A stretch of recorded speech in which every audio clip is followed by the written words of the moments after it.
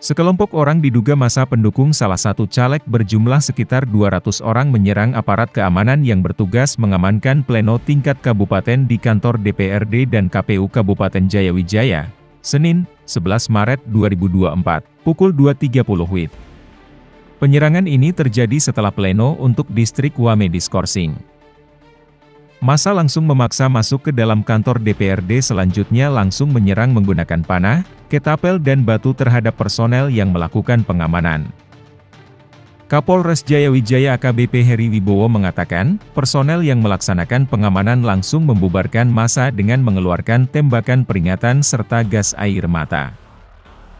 Setelah masa berhasil dipukul mundur dengan menggunakan gas air mata, Selanjutnya dilakukan razia terhadap masyarakat yang berada di sekitar lokasi dan diamankan beberapa barang bukti berupa lima parang, dua pisau, lima buah busur panah beserta 66 buah anak panah, sebuah ketapel dan sejumlah motor, ujar Kapolres, Senin, 11 Maret 2024.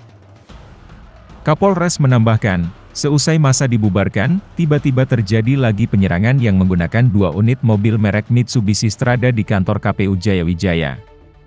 Namun serangan ini kembali dapat diamankan personel Polres Jayawijaya dan BKO Brimob yang melaksanakan pengamanan di kantor KPU. Dalam penanganan kasus, 14 orang yang melakukan penyerangan berhasil diamankan. Mereka teridentifikasi yakni berinisial JK, T, YK, OK, PW, NW, IU, SW, HK, YW, HW, OW, MK dan GW.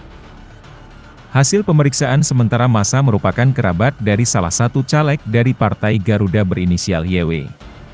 Mereka melakukan penyerangan diduga atas perintah YW dengan sasaran utama PPD Distrik Wame.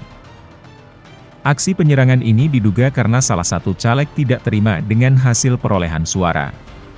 Suara yang diperoleh di lapangan berbeda dengan hasil pleno di kabupaten sehingga acuriga suara tersebut dialihkan ke caleg lain, ucapnya.